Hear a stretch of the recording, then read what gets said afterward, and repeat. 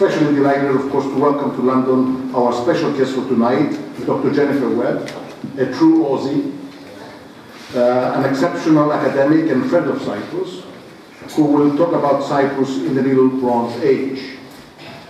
Professor Webb's lecture inaugurates the symposium Cypriot Archaeology, Pre-Modern Material Culture and Cultural Heritage in the United Kingdom, which will take place tomorrow morning at UCL, University College London Institute of Archaeology. Uh, this exciting lecture and symposium on Cypriot archaeology is the result of a fruitful collaboration, as Marios pointed out, between the Cyprus High Commission Cultural Section, UCL Institute of Archaeology, and the British Museum. So I would like to pay, to pay special thanks and tribute to Dr. Thomas Kiely. Thomas, where are you? Get up so everybody can see you. Thank you. Thank you.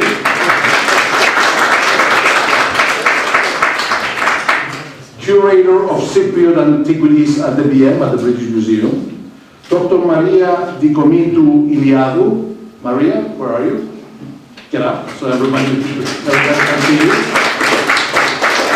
Marie Curie, postdoctoral research fellow at the Institute of Archaeology, and of course, my cultural counselor, Dr. Marios Psaras, who needs no introduction, right? Good. I have introduced myself. All right, good. um, I cannot emphasize enough how much we value our long-standing relationship of mutual support and collaboration on multitude levels with the British Museum, Thomas.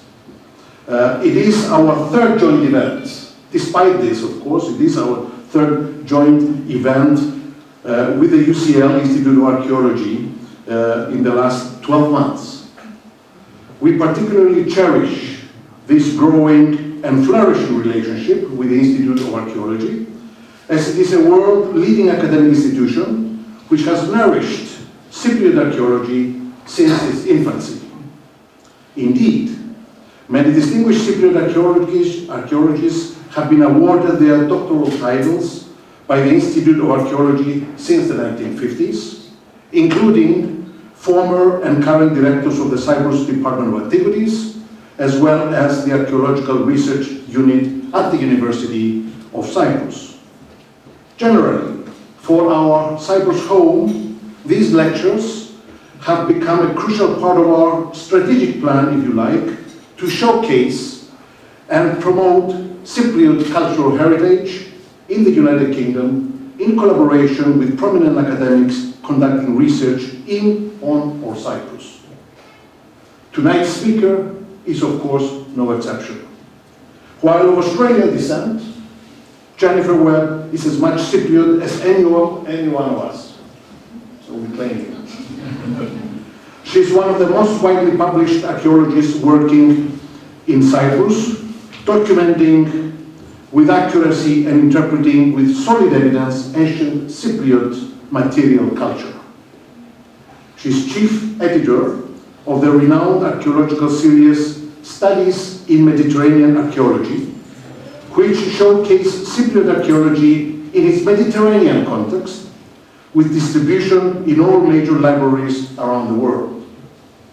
A truly benevolent mentor, she's always supportive to young researchers, generously offering her vast knowledge of Cypriot prehistory and guidance in material studies. Hi, Emma. More recently, Professor Webb has under, uh, undertaken a most important task, the full publication of archaeological sites located in the Turkish occupied part of Cyprus, sites that were excavated before 1974, but remained neglected or undocumented ever since. By, by studying old excavation, journal, old excavation journals, discovering old maps, photographs and notes, and associating them with the surviving material in the Cyprus Museum, Professor Webb has managed to bring archaeological sites in Karmi, Ambelo, uh, uh, Ambelikou, and Lapithos back to life, making them part of current literature, and thus filling a significant gap in research. And for that, we are thankful to you, Professor. Her lecture tonight is precisely about such an archaeological site located in the beautiful village of Lapithos. Dear friends and colleagues, I am confident that uh, the professor will be most illuminated, her professor's talk will be most illuminating talk that I'm sure all of us will enjoy. Uh, without much ado, I would like to pass the floor to Dr. Jennifer Webb, but before I do that, in my old age, I'm becoming a photographer because whether we like it or not, digital is part of our life, uh, including Twitter. So I would like each one of us to give me a huge smile because I want to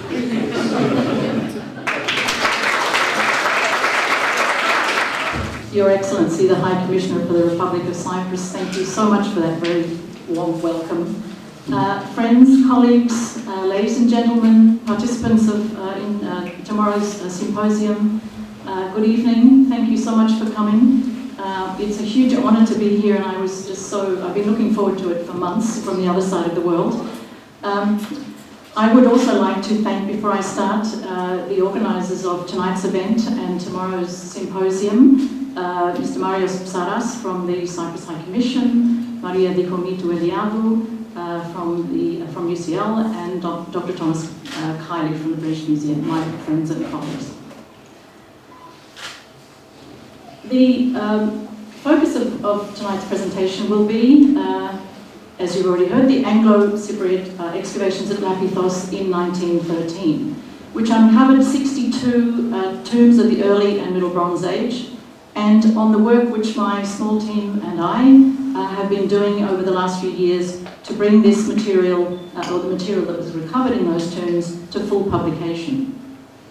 I also hope to convince you along the way, um, let's see, this is yes, uh, of the importance of publishing old excavations, both because, as Sir Mortimer Wheeler famously wrote, all excavation is destruction, and excavation without publication is wanton destruction, and in this case specifically because Lapithos is on the north coast of Cyprus, and the northern half of Cyprus, as you know all too well, has been inaccessible to legitimate excavation since the Turkish invasion of the island in 1974.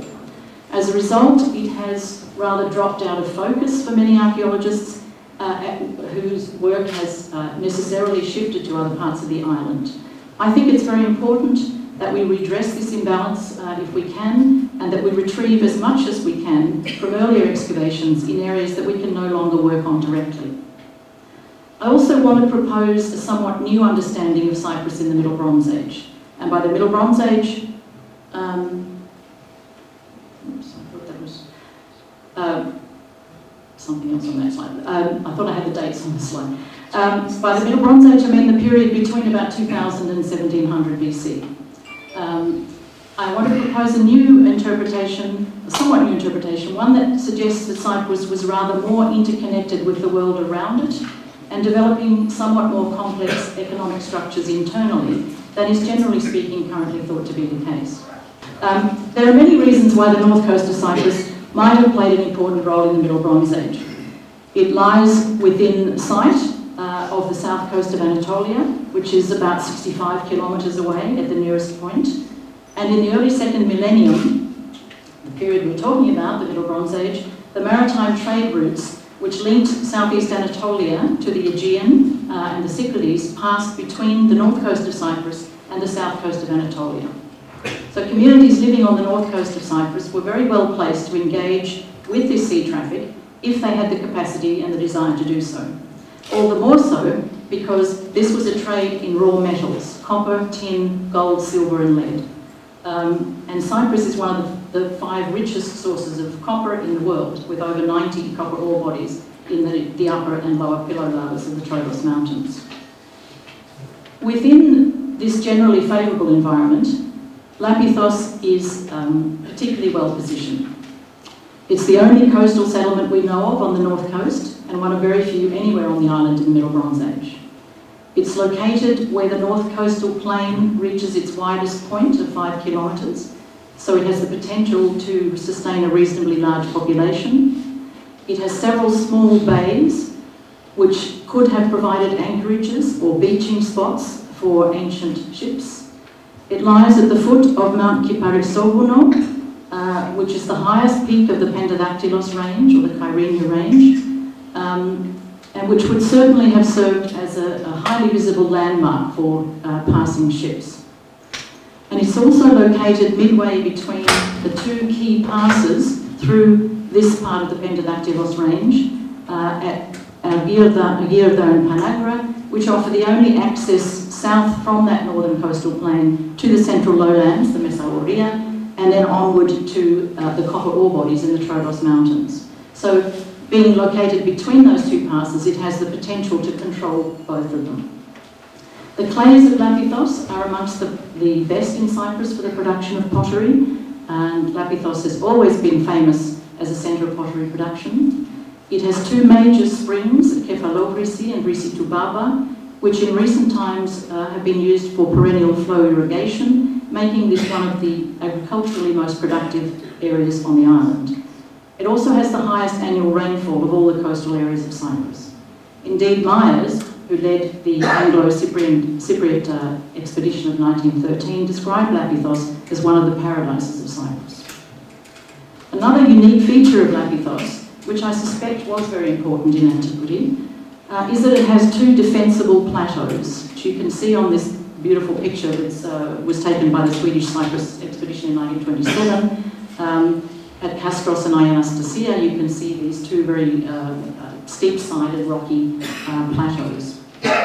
Uh, we don't know where the ancient settlement of Lapithos was. it hasn't been excavated, but it was probably near under the modern village, and no doubt, I suspect, close to and around and on those uh, two natural acropolises. So Lapithos is very well located. Uh, we need to remember, however, that if Lapithos or any other community on the north coast needed secure access to copper, either for their own uh, purposes or to feed into an international uh, network, uh, external network, they had to control those two passes south to the copper ore bodies in the Troodos. And they also had to be able to manage the intervening communication and transport routes. The nearest mining areas to the southwest are at Ambelikou and uh, in the, uh, around the ore bodies at Skouliotissa. That's about 40 kilometres away from Lapithos. Uh, in the, the southwest, uh, um, there are mines at Mathiati, Shah, Kamya. Um, they're even uh, further away.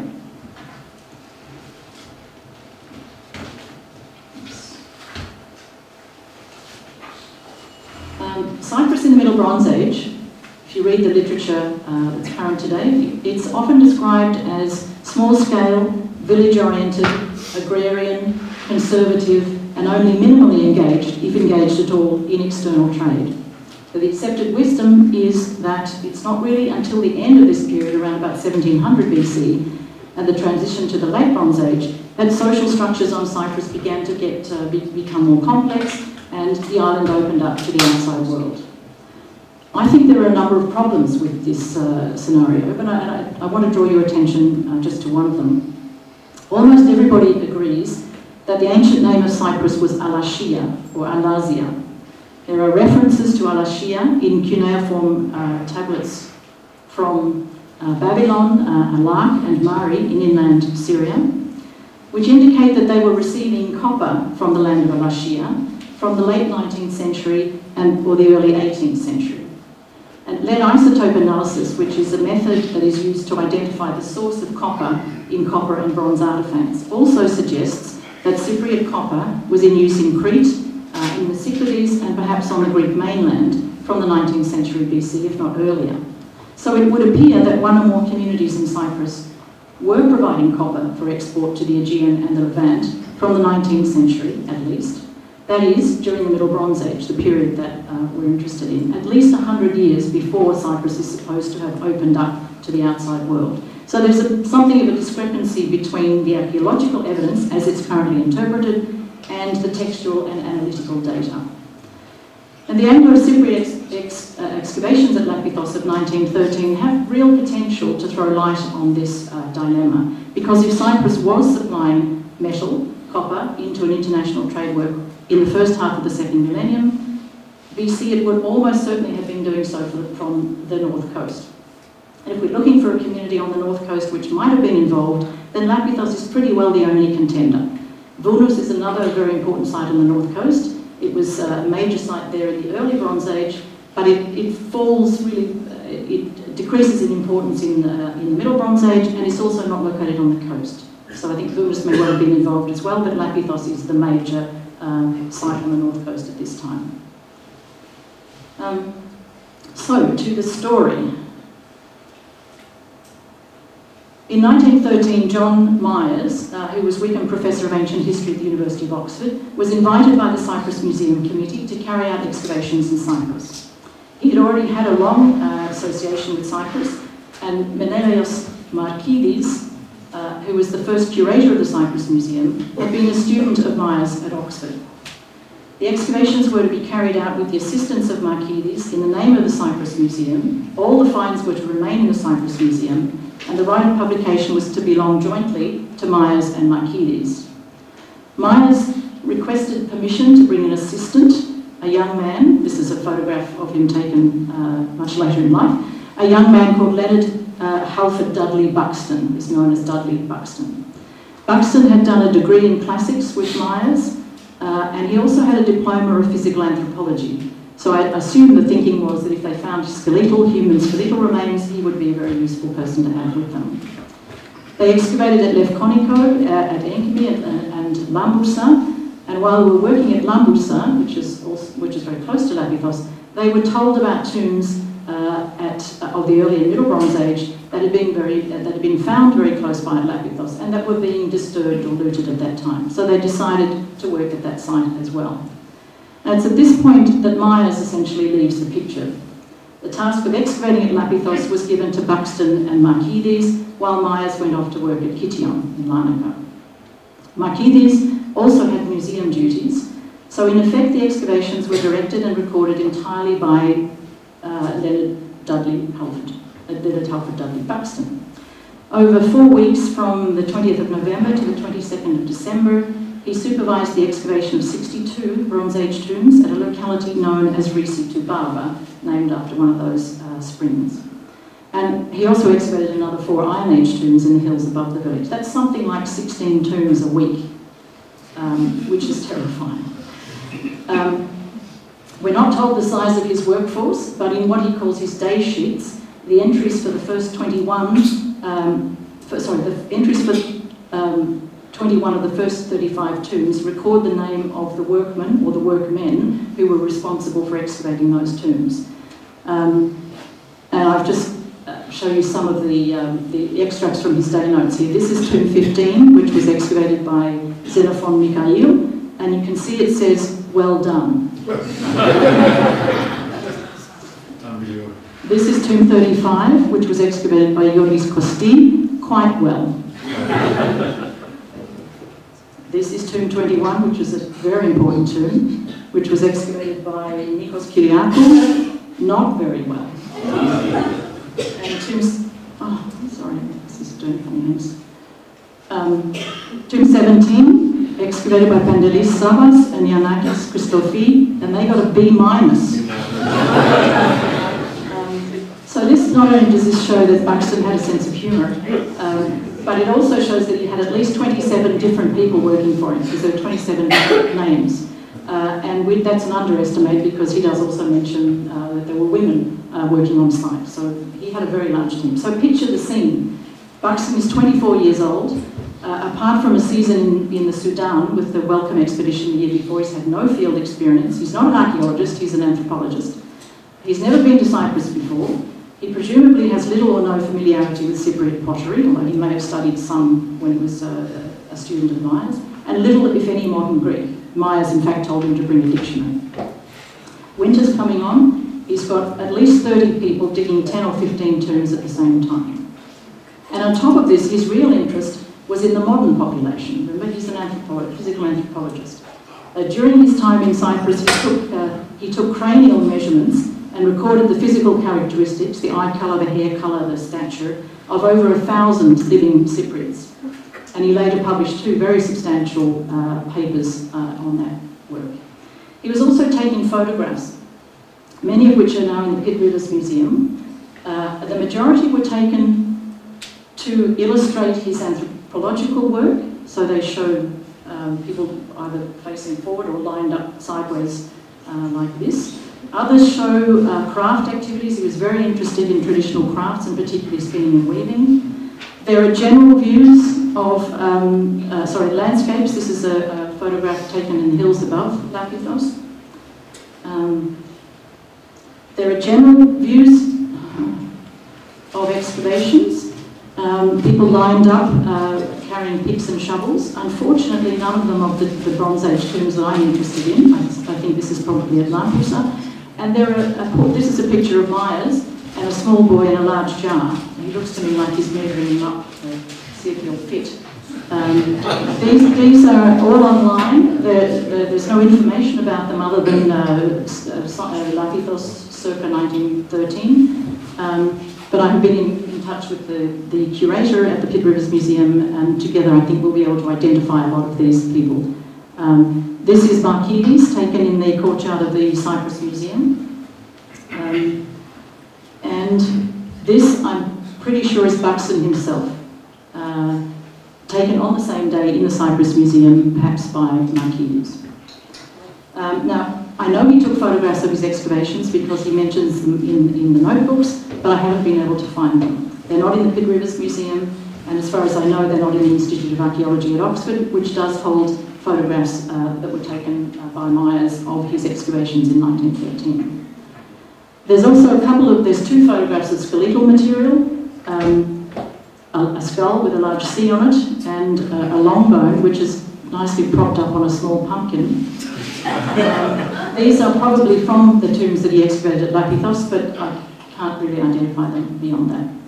Buxton was also collecting ethnographic material, mostly tools, um, but also musical instruments and textiles, many of which are from Lapithos and Karavas, uh, which are now in the Pitt Rivers Museum, the British Museum, and elsewhere. Very interesting man.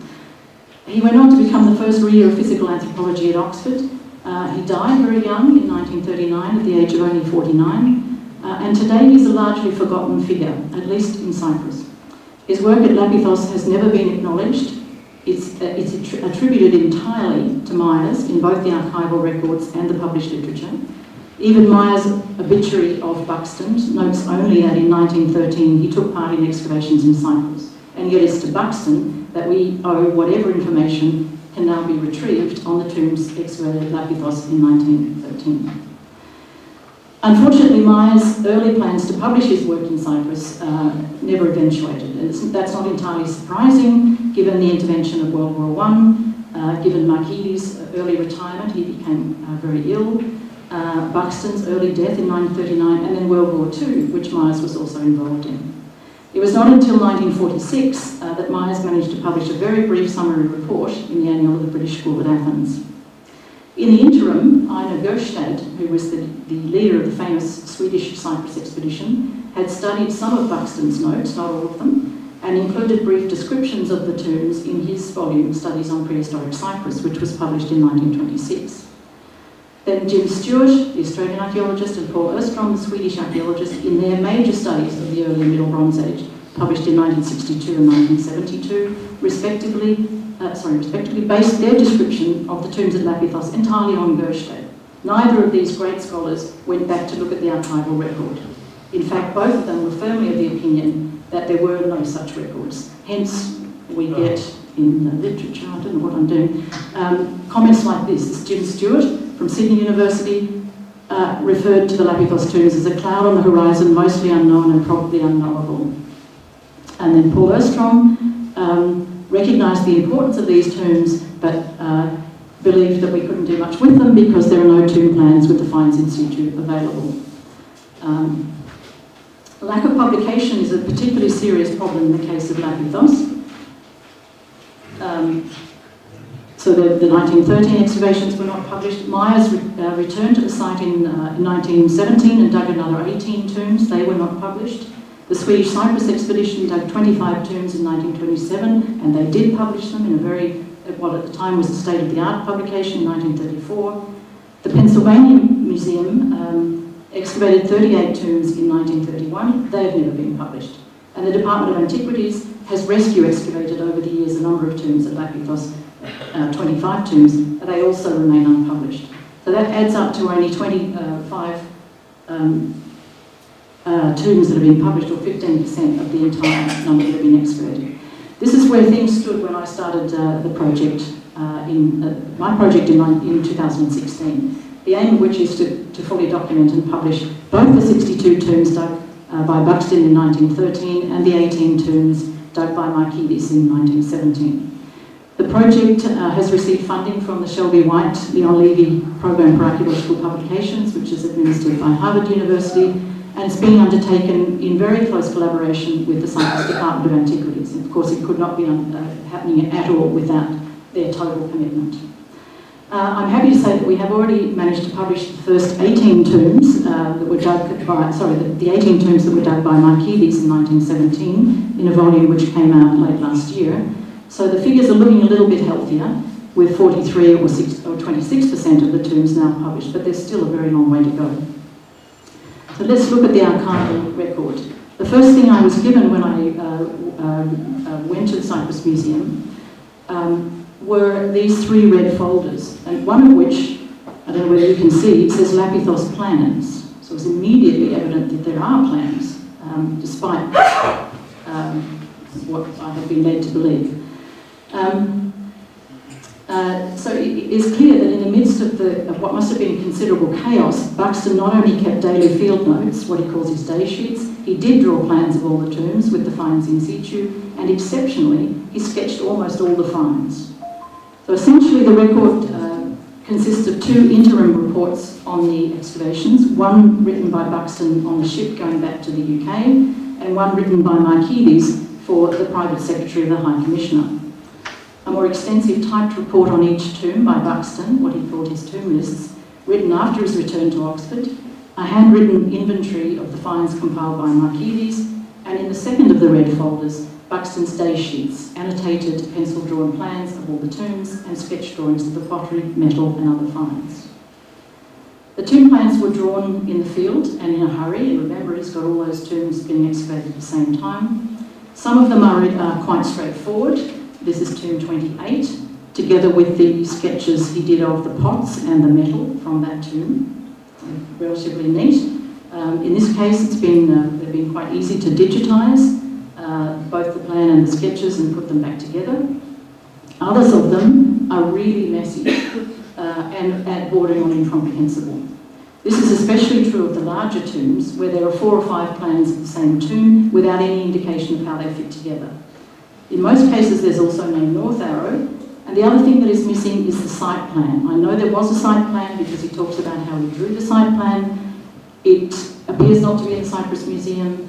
Uh, Anja Ulbrich at the Ashmolean has very kindly uh, looked for it in the, in the Myres archive in the Ashmolean, but unfortunately uh, was not, a, it doesn't appear to be there either. If anybody has any idea where the site plan might be, I would be hugely grateful.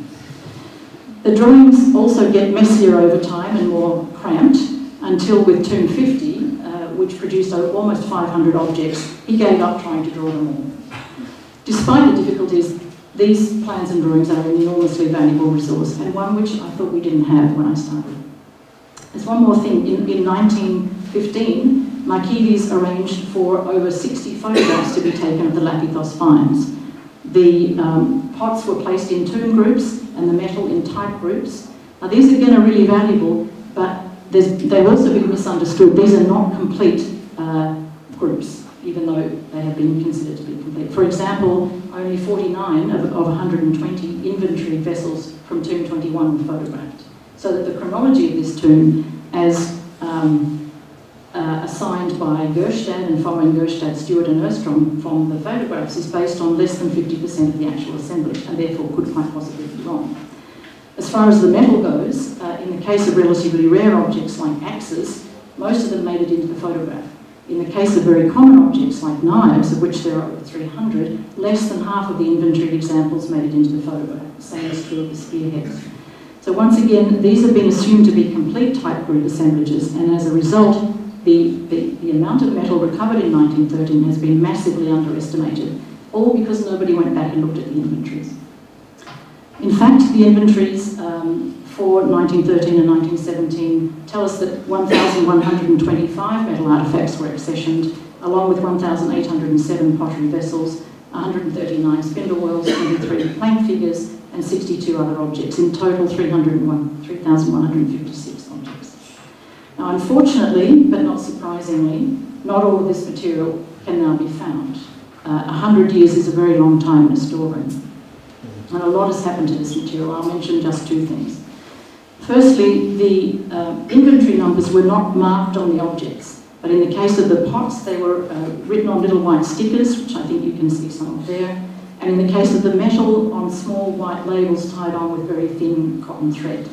Now, those didn't last very long at all. Um, in fact, when Gjerstad arrived in Cyprus in 1924, he reports that most of the labels had been eaten by insects or dropped off. And that was also the fate of little bits of paper that Buxton stuck inside some of the pots in the field, which we, in some cases, we found those bits of paper still there, and we tried desperately hard to read what was on them, um, and sometimes we could. But you can see the insects have done an enormous amount of damage. This loss of labels is a huge problem. As we work through the trays of pottery, um, from each tomb we find that quite a few of them are missing. Uh, I presume those are pots which lost their labels very uh, long ago and ended up in some kind of general from Lapithos collection in the museum. The situation is very much worse with the metal. Uh, when I started this project, only about 250 of the 1,125 accessioned metal objects could be located in the museum. I then spent weeks, I think it was six weeks, going tray by tray through all the unprovenance metal in the Cyprus Museum um, to see if I could identify any of the missing objects using the 1915 photographs. Uh, and I, I, I was um, reasonably successful. I was able to uh, identify by matching objects in the unprovenance collection with these uh, group photographs uh, another 200 or so, still less than half the original assemblage. Uh, my guess is that all the remaining metal, metal uh, is in the unprovenanced uh, metal collection, but we'll never be able to identify it specifically. Secondly, it would appear uh, that some, if not all, of the tomb groups were buried in the courtyard of the museum during the Second World War. Uh, now, Vassos Karageorghis, who was the director of the Department of Antiquities for many years, told me this. Uh, he told me that uh, when the museum was evacuated, the, the objects that were on um, that's not a problem, um, on exhibition were taken to the the Abbey at Bellapais for safekeeping, and the pottery in the storerooms was buried in the courtyard. And Vassos remembers in 1952 watching them uh, dig this pottery up again from the courtyard. Uh, I suspect that uh, episode may explain why some of the material uh, was more complete in 1915 when it was photographed than it is than it was in 2016 when we, we uh, rephotographed it. I just lined up the pots in the same way as they were on the original photograph. Every pot that has an arrow is missing a bit that it had in 1915. It may also explain why some of the tomb groups are missing altogether. It may be, as Vassos suggested to me, that not all of them were dug up again. Um, so there have been a lot of challenges along the way.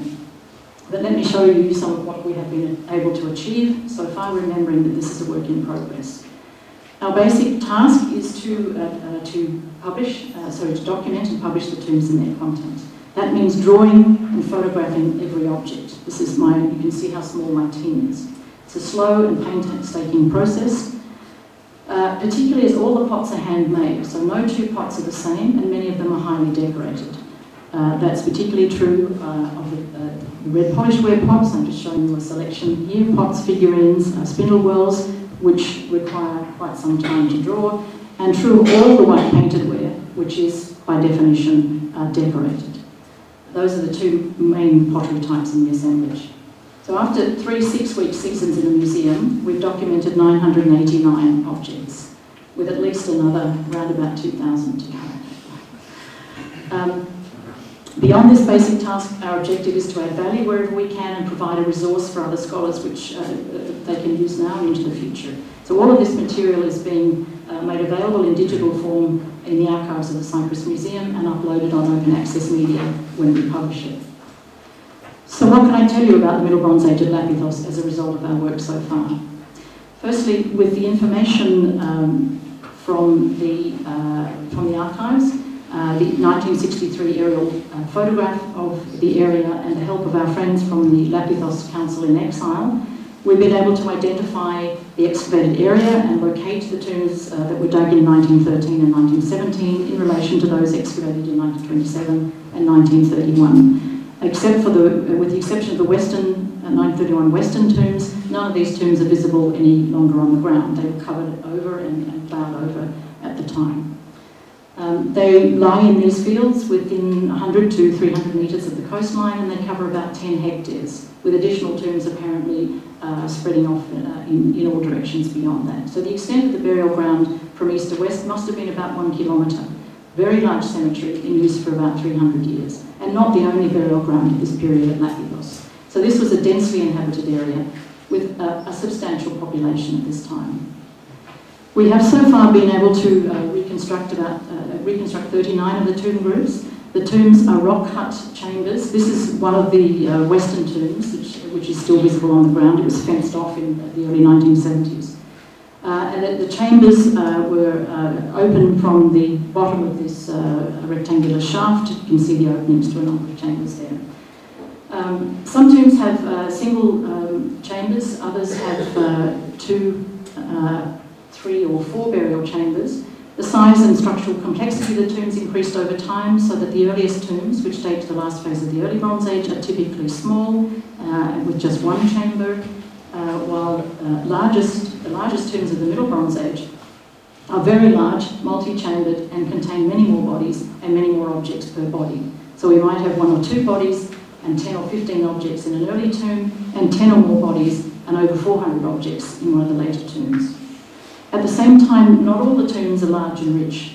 Um, in all periods of use of the cemetery, there are some tombs which stand out, suggesting, or stand apart, suggesting a degree of inequality and wealth, of wealth and status in the, in the community.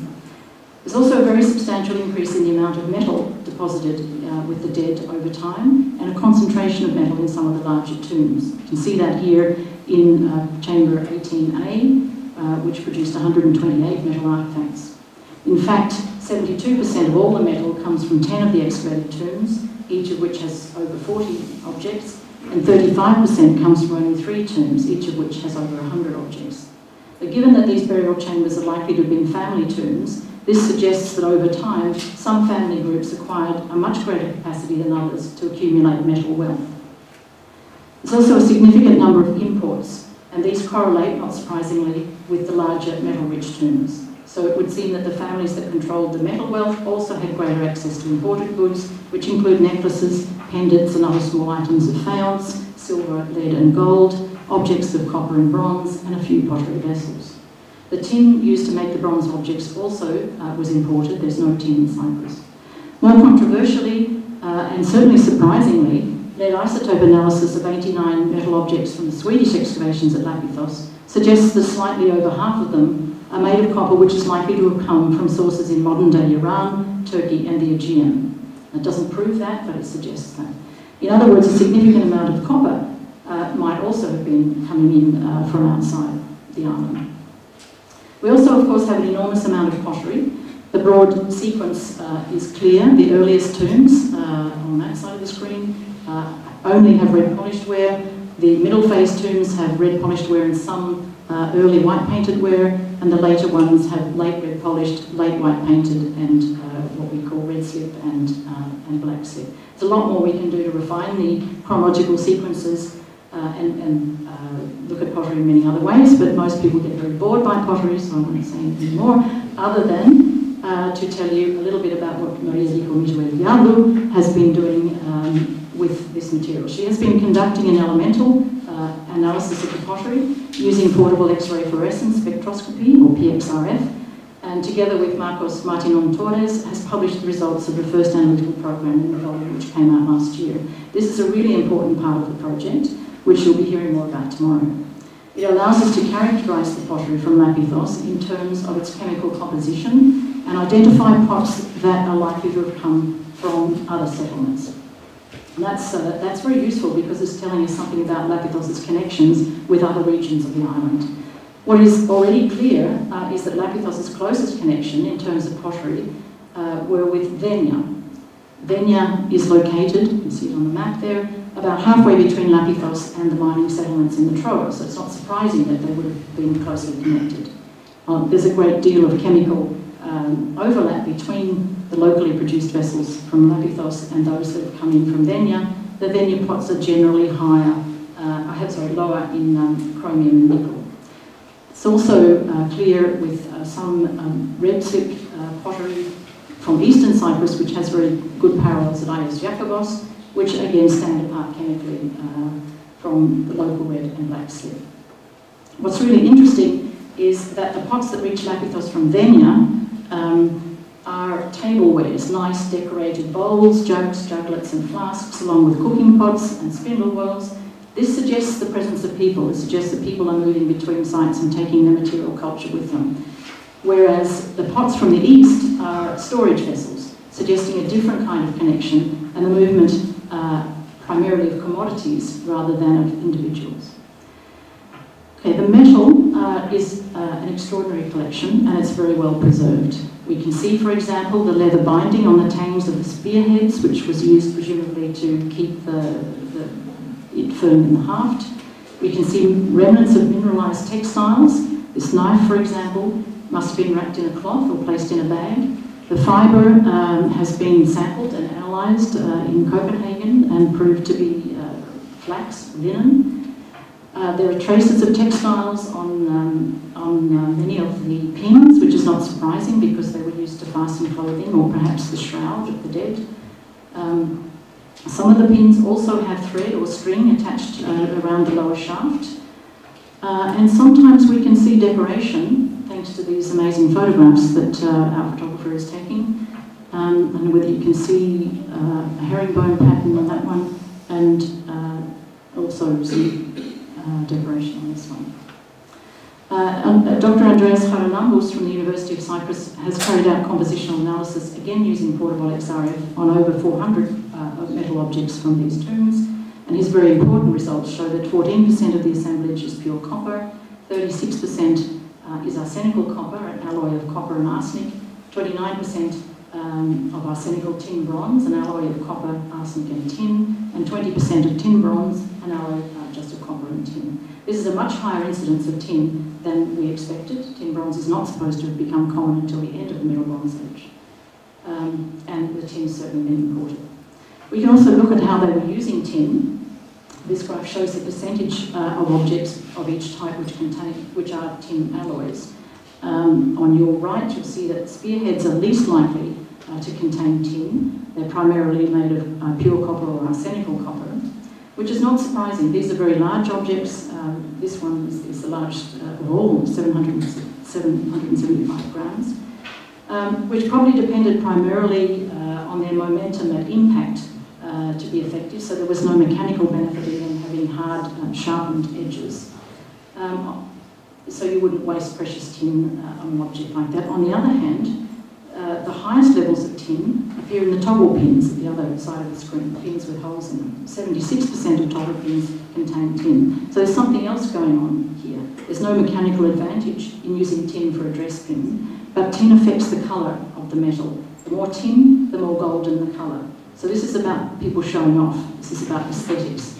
Uh, the colour, size and weight of toggle pins, which is you wore, um, were uh, possibly used to express prestige. So this is telling us something very interesting about the way people were valuing metal and the way they were targeting precious tin for certain kinds of objects.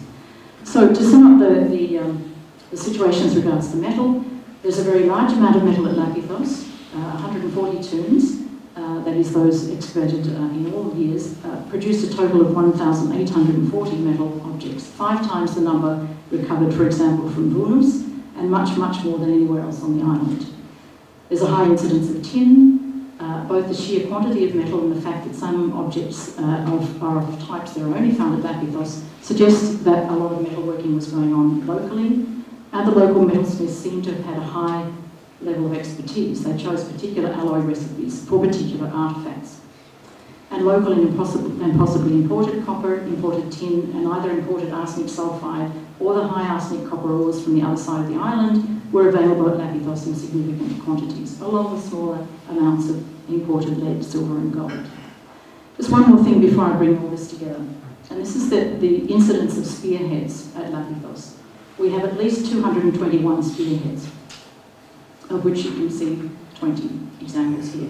These are specialised weapons. They could have been used for hunting as well, but they are certainly um, weapons. Knives could also have been used as weapons, as well as tools, certainly in the case of the larger ones, and the same is true of axes and mace heads. The quantity of uh, weapons, potential weapons at Lapithos, is particularly striking when we compare the number of spearheads with those found at other sites across the island. So what is going on here? There's long been a tendency in Cypriot studies, and more broadly, to see weapons like this uh, as symbols of prestige and male identity, rather than as functional weapons that might have been used for, for, for killing people.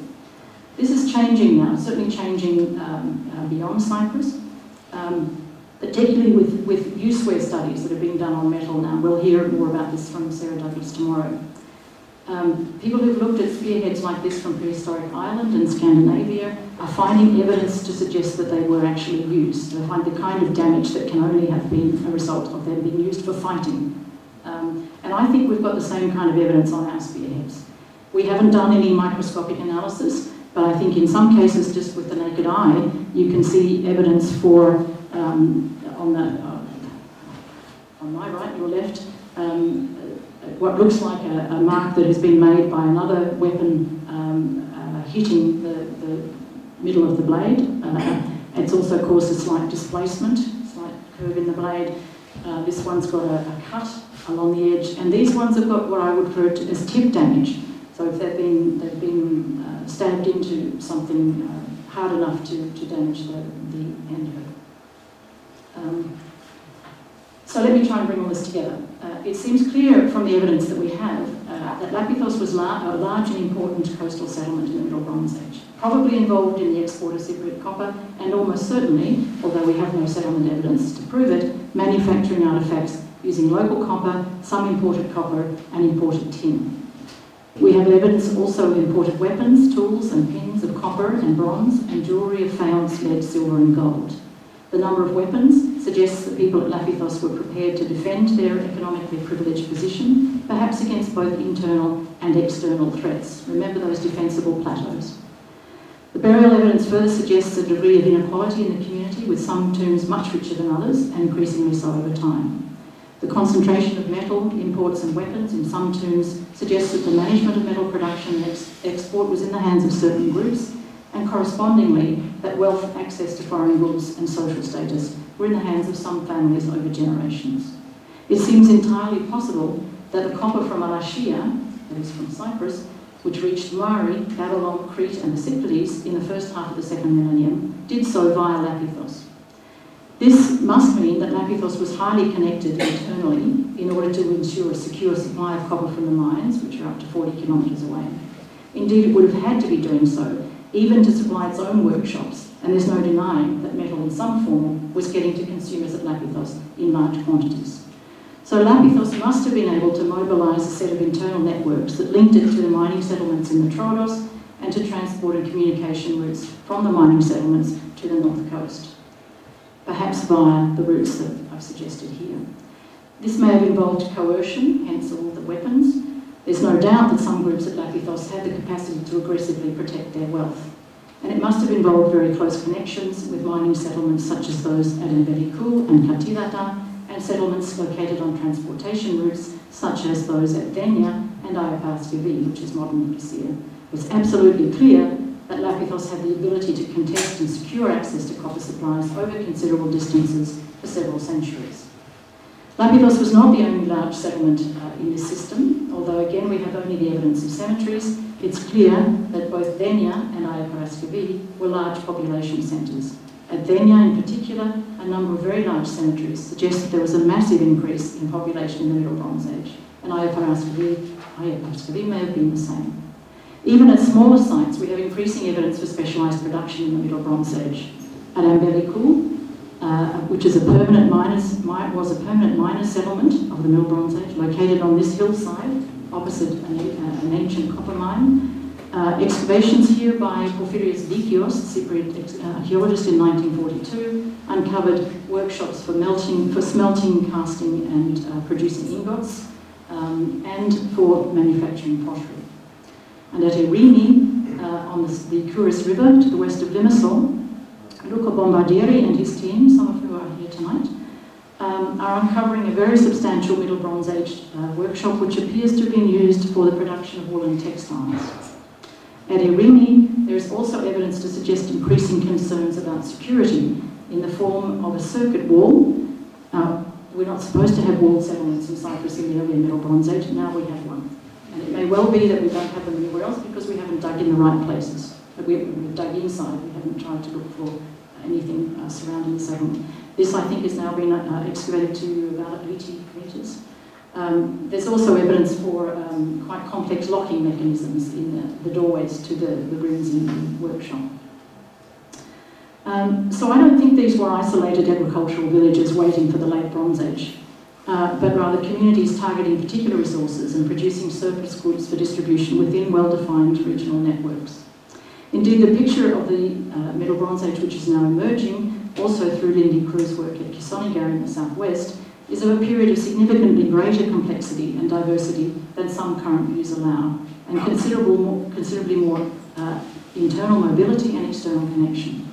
All of which predates, and I suspect, uh, I think, uh, will help us to explain the developments which occurred in the early years of the late Bronze Age, which once and for all opened Cyprus up to the Eastern Mediterranean world.